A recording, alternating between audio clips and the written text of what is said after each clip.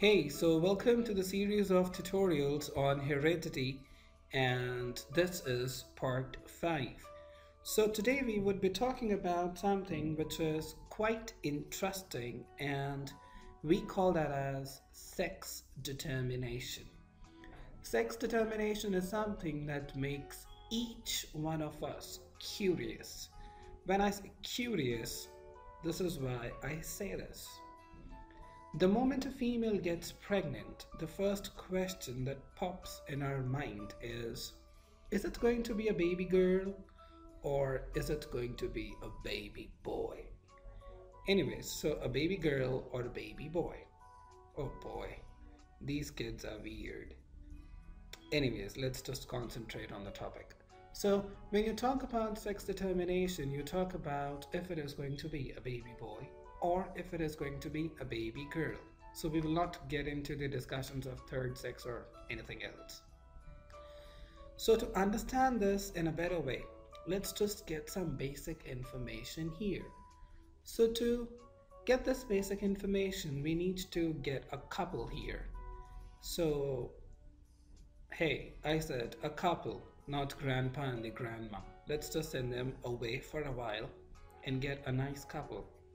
They're pretty nice, but uh, the thing is, they're way too formal.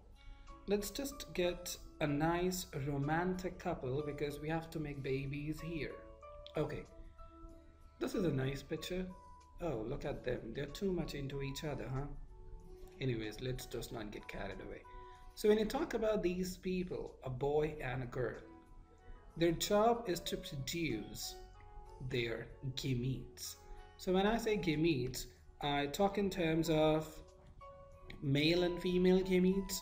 So as you can see here, this is a female gamete, so we call it as an egg cell.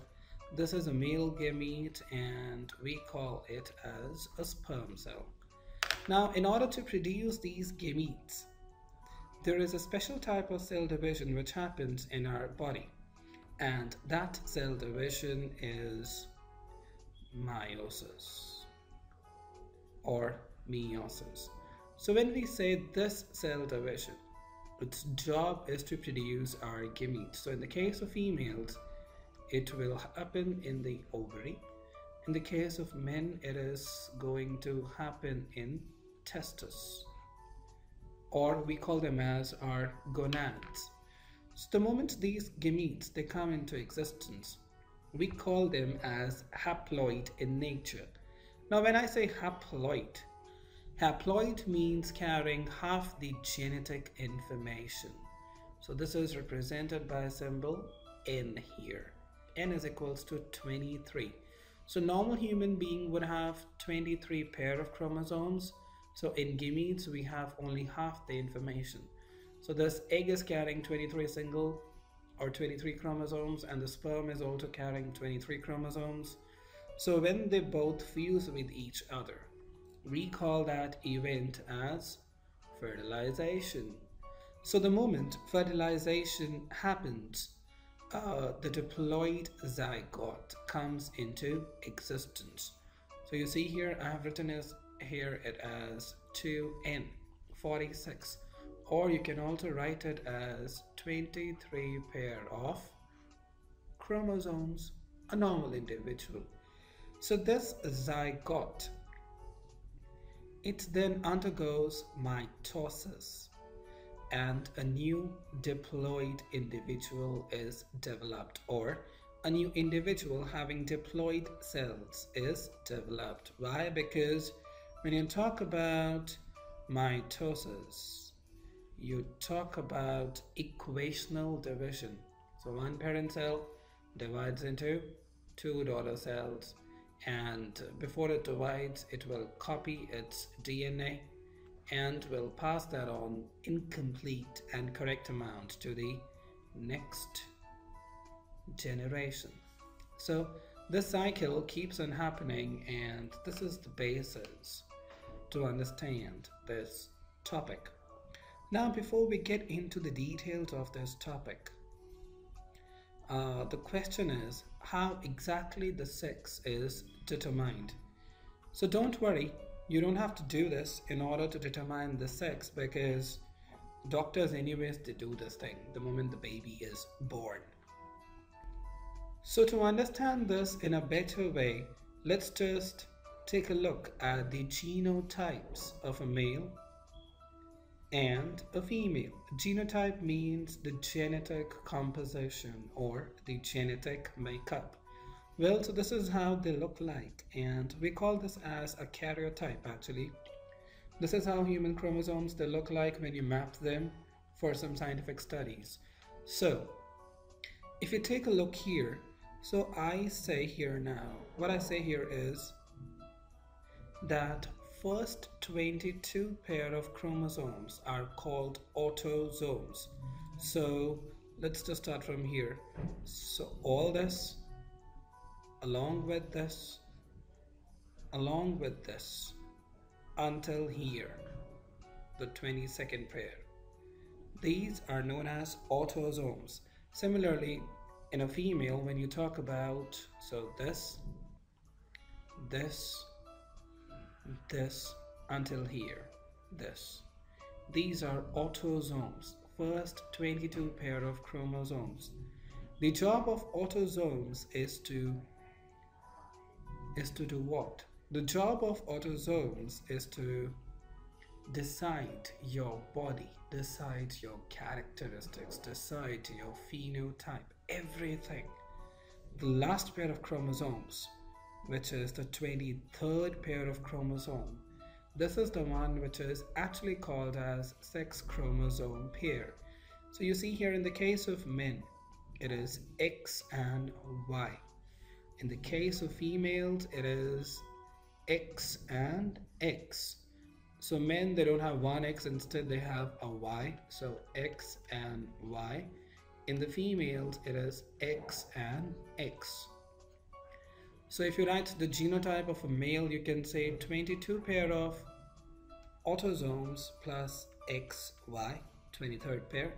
In the case of female, it will be similarly 22 pair of autosomes plus X, X.